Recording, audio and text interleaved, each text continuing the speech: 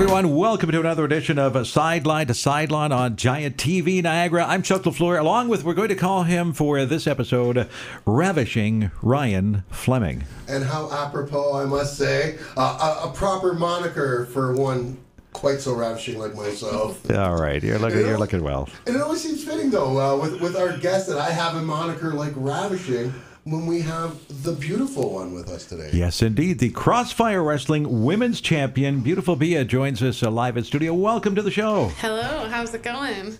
Great. Doing Uh, great. great to have you here with us, Beaa. Um, you know, we, we, we go back a long time, so Long time. Uh, this is going to be, you know, just like another conversation for you and I. Um, but uh, we had to include Chuck in this conversation. I'm sorry. I feel like a third wheel here all of a sudden. Yeah, you guys, you guys do have a history. There was just like some babysitting involved or something, or Right, right, right. Uh, Beaa used to babysit me. No, I'm just kidding. that was just last week. Beaa used to uh, babysit uh, my, my children. Uh, uh, Oh, nice. in formative years. So I blame her for everything that's uh, with them right now. So never. Uh, we'll get to Beaa in a sec. But what's Ryan Fleming really like?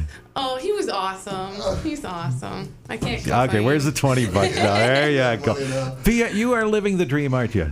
I am. I love my life right now. I have no complaints. It's awesome.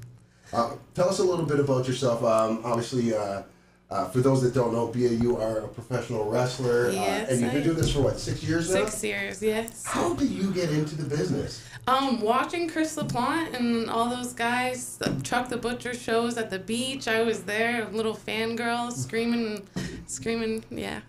So, so you go from being a fan, and what's the first step then? Uh, did you know as a, as a very young girl that you wanted to become a wrestler someday? No, I knew I loved screaming at the guys, and I really like enjoyed it. Like being able to scream "shut up" and yell at Jay Moore, and it just it hooked me. But I didn't think that I would actually become a wrestler. A few years later, I started managing. So I was I was the Jay Moore. I was out there cheating for the guys, and Wow. Yeah. I cannot picture you ever. Not as, at all. Uh, as, as they say in the business, a heel. no, Uh, it was a heel very out of it was out of character for me. It was. Was it hard for you to, to be that character, to be the heel? Because you are such a natural uh, babyface or good guy character, uh, for those that don't. Uh, Yeah, it was know. very out of character. It, it didn't suit me at all. I would go do the high five and then take my hand away, and it was like more of a funny heel than Right. mean. So to this day, do you still yell at Jay Moore when you have a chance to see oh, the infamous for one? sure, yes. No, Anytime it's I easy, easy to do, isn't it? So, so um, you tell us about your training. How did you uh, get into the business? Like, who was it that took you, took you under their wing and taught you uh, the business? Well, I actually I did high school wrestling as well. So I did that for four years, and then my mom was very, you have to finish college before you can go on to wrestling, because she knew how much the schedule is Right. busy and stuff. So after high school, I went to Chris Thorne at CWF and I started training there. And it took me about three years before I actually started wrestling. I started a manager. I was a ref. I was I tried announcing. I was not very good. And yeah, I just did a little bit of everything. Got a taste of everything. Do you remember your first Crossfire wrestling match? Um, I remember the first three because I wrestled in Welland and then I wrestled Casey Spinelli and Kaitlin Diemond. Those two Wow. matches really stand out to So me. So right off the hop, uh, you are put in the ring with some very experienced, uh, very high-end talent. Yeah, Mm-hmm. yeah. Now, uh, we, we talk about that, um, and you're fighting a Kaitlin Diemond and a Casey Spinelli, two former Crossfire Women's Champions, um, two women that have fought across the globe. Yes. We're not talking just fought in Canada or in Ontario, they fought across They the are all over the place. Exactly. Even right now, I'm not even sure where they are, but they are not in Canada. They're, so. they're everywhere. um, when when you do that, what kind of pressure is that um, for someone who's brand new coming into the business and knowing who they are? There, there was a lot of pressure, especially people wanted me at Crossfire for so long, so that alone was pressure enough. They were ready to see me do my thing there, and then for it to be Casey Spinelli and Kaitlin, the two top people, it was, it was, there was a lot of pressure, but around Ontario, I've wrestled them before, so it was just a, a little higher level. Right. And tell us about the night you won the Crossfire Women's Championship. Then. Oh man, that was awesome. I mean, I felt like it was my destiny since like LaPlante booked me. I was like, all right, that's what I'm going for, Crossfire Women's title. But the the way the crowd reacted, it was just awesome because it's all my hometown people and they really wanted it. Port Colborne, Ontario's own. Now we we talk about uh, or you, you, you touch on about uh, you being like a hometown favorite to uh, the fans when we're in Niagara.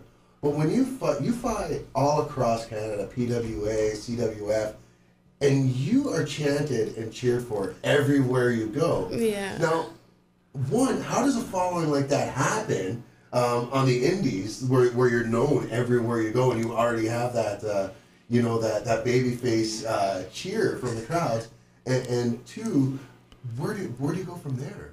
You know. Yeah, I don't know where it came from. I've been working at it for six years, obviously, and I have done my rounds, let's say PWA, MCW. I've held like multiple championships, and I've I feel like when I go out there, I just bring energy. I dance, I, I stick my tongue out, I'm silly, and I think the crowd just wants to get in on that fun. So I have to ask you, Beaa, uh, beautiful Beaa from uh, Crossfire Wrestling, the current women's champ, uh, is our guest on this edition of Sideline to Sideline. I know our own Pat Porter, who makes appearances for Crossfire Wrestling in the ring, finally, finally, it's like the cover of the Rolling Stone to him. He finally got on a Crossfire Wrestling poster. What was your reaction when you finally saw yourself on a wrestling poster after uh, oh, years of dreaming? Me on social media, I was taking selfies with every poster that I've seen around town. it was awesome. You are one of the queens of social media, though, when it comes to it. Um, do you feel when it comes to social media, um, especially in this day and age, it's such an important part for building your character? Do you find that that's been a, a big influence as well for building your fan base? Probably. I never really thought of it that way, but I am always posting about my life, trying to show how much fun I'm having, and yeah, I never really thought about it that way, but. Well, I do. I, I bring these thoughts to people. we go deep here inside. sideline. Absolutely. That's what it's all about, B, as you can tell. Uh, we've got a big show coming up on April the 28th. It's Mayhem. Uh, your opponent coming up at this show, uh, you faced her at uh, the last Crossfire Wrestling show, March Meltdown, and uh, boy, she is. Uh, Holidead, first is her name. Uh, are, are you intimidated by her? She she is a little bit on the scary side. Yes, she she's different for sure, and she's arguably one of the toughest opponents I've had at Crossfire. I think that match was insane. Being in there, just it felt like it was never gonna end. I was hitting her with everything I had. Had her in that submission. I really thought it was over, and when the bell rang, I just Yeah, you guys, you guys went uh, went the time limit there. Yeah. There was a, a no decision there. So it is the it's actually a vacated uh, championship right now, and you and Holidead are going for that vacated championship Yes. at Mayhem. And this this is going to be a defining moment, I think, uh, for both you and Holidead. Like you two are putting women's wrestling in Crossfire on the map yet again, which Crossfire's always had great women's wrestlers, but now it's uh, we're, we're taking it up a notch. Yeah, feel, so. we're le- leveling up for sure. I'm, I'm a little bit nervous, but I think nerves are good. I really, I believe nerves are good. If you don't, I heard someone say, if you don't have nerves, you should just get out now. Yeah, So- no, I, I, I, my apologies too. I, I think I jumped the gun. I know it's going to happen on Yeah. the 28th. I mentioned uh, Beaa was the uh, beautiful Beaa was the current Crossfire Wrestling Right. champ. It's a formality, I think, at this point. Holiday, if you're watching, take Yes. that. All right. What do you do before a match? Any superstitions? Any rituals you go to before you uh, get into the uh, into the ring on uh, the the day of an event? Well, I definitely like to talk to the fans. Uh, They help me get ready. Like they pump me up. They tell me like you got this. So I definitely like to get out there and chat them up and get know that they're they're rooting for me. That's big for me.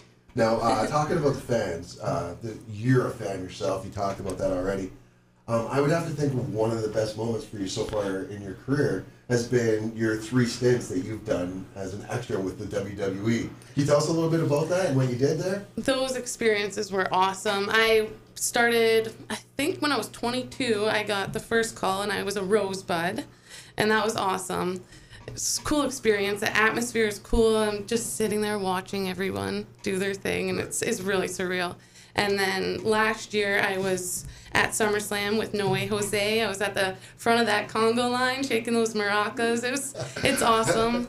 It's yeah, it's it's surreal because these are all the guys I look up to, and I'm sitting in the same room eating the awesome catering with them, and it's And just sitting across from Ronda Rousey. exactly. Yeah, I actually made a joke with her because we were filming a promo, and uh, the camera had to be downstairs in like 10 seconds or something and the elevator wasn't up and she was like okay let's just run it down there and it was it was really cool It's- All right, if we get a couple of quick predictions off you while we have your uh, beautiful Beaa from uh, for Mayhem. Cody Deaner versus Phil Atlas. oh i'm a cody deaner fan cody deaner all the way Recently just signed Impact. yeah, Big with deal, uh, the big Deaners. deal. Uh, ben, Hameen, ben Hameen and uh, Congo Kong, who are uh, Ryan's Moore's favorite. Monsters. Yeah, yeah, yeah. Taking on the Beaters. What do you think? Ooh, Moore's Monsters. I love the Piss Beaters, but they Ben Hamin's last match against uh, Joe Pimento was like insane. So I'm gonna have to gonna have to go with He's Moore's gonna- Monsters. There I you guess. see, there you go. And, and Joe's going to be actually the special guest referee uh, here for uh, Cody Deaner So that and could for have Phil some. Atlas.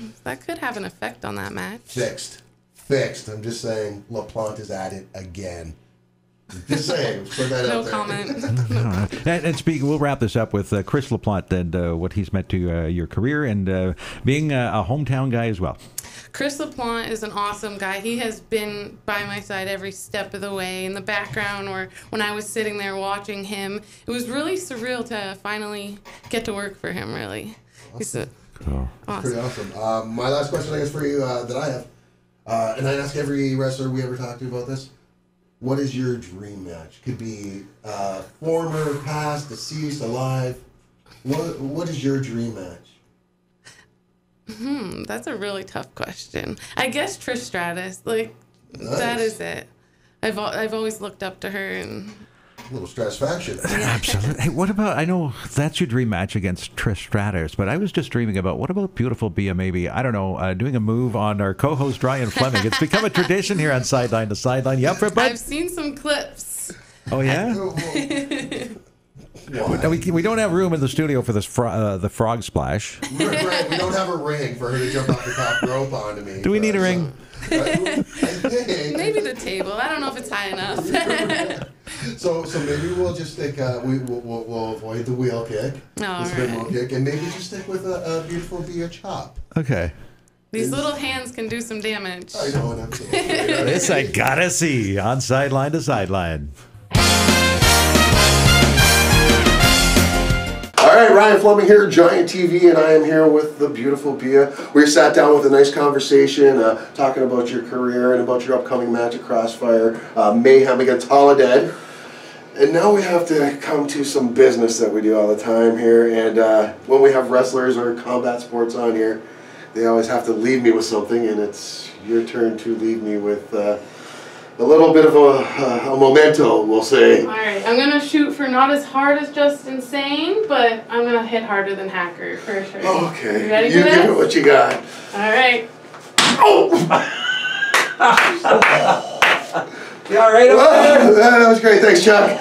Wow, thanks, you Beaa. No, that was that was good. Thank you, Beaa. Um, for sideline to sideline with beautiful Beaa, uh, Ryan Flem, it's been another edition. Thanks.